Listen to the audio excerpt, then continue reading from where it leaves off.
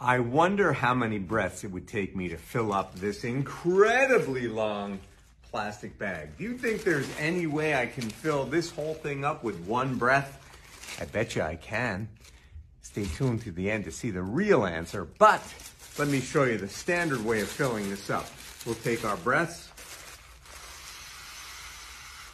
One hardly did anything. There's 10. I'm not even halfway there and I'm ready to pass out. Is there perhaps a better way to do this?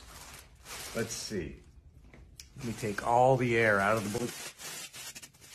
And now we're gonna use something called Bernoulli's principle.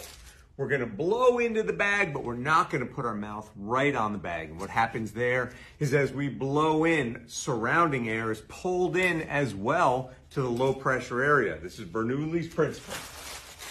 Firefighters know about this. We'll talk about that in a moment. So here we go. One big breath.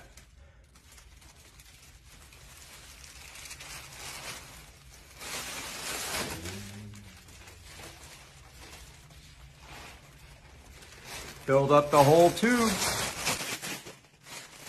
So I said firefighters use this too. If you ever want to get the air out of your room, maybe it's uh, hot at night and it's the summer and you don't have an air conditioner, so you're using a fan, don't put the fan right in the window. Back the fan up just a little bit and now it'll blow air out, but will also pull the surrounding air out with it. I love science.